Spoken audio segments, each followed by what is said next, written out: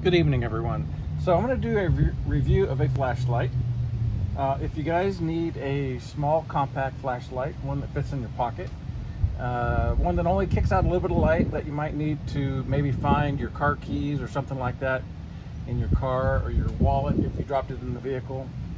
Um, something that you know you wouldn't mind carrying around in your pocket or uh, maybe a, a backpack this isn't the light that you need. This is the Kodiak Kolossus.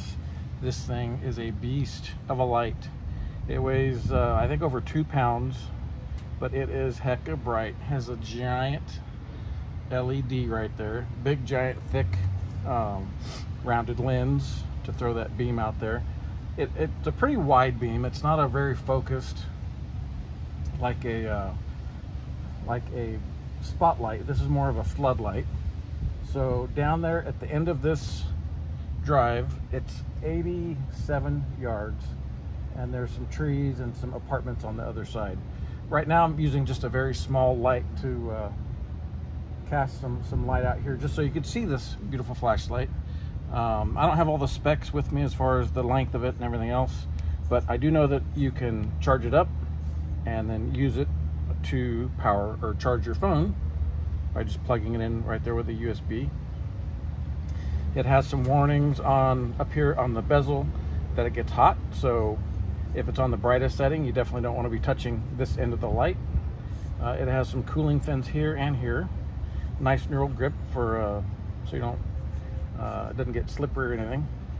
But let's just power it on and let me turn this light off and get where I can see.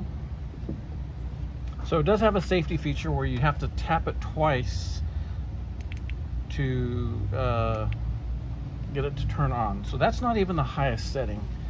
Um, once you're there, you push and hold it down, and that is the highest setting right there.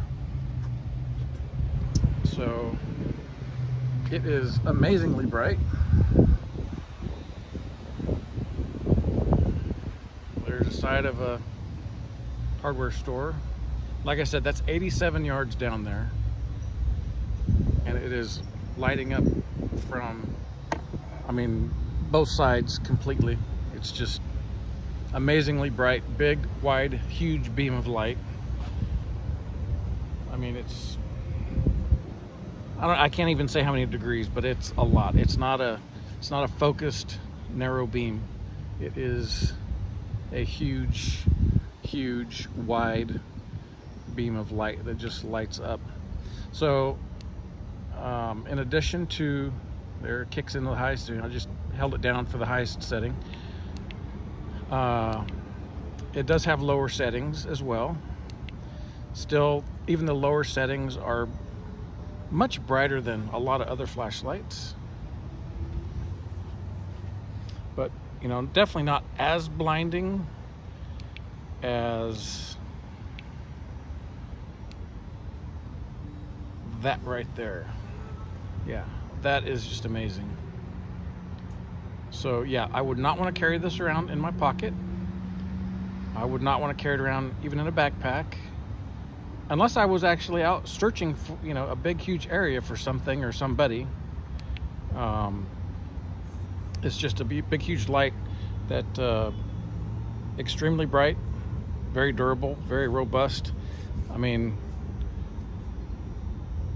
you could actually probably smash watermelons with this thing. It is just a beast. I've heard other people refer to it as a beast, and it actually is. This thing is just solid, built like a tank. It's the Kodiak Kolossus. Has a very fitting name for it the, uh, I think I would just ruin my phone if I turned the light on as bright as it could get right now. It'd just fry the inside of my phone and I'm not gonna do that. But um, yeah, I definitely like it. It has its uses, um, but it's not being in my back pocket being carried around for an EDC light. But uh, yeah, search and rescue type of thing. A lot of other different uses for this light. I mean, even charge your phone with it, I guess. So again, I'll uh,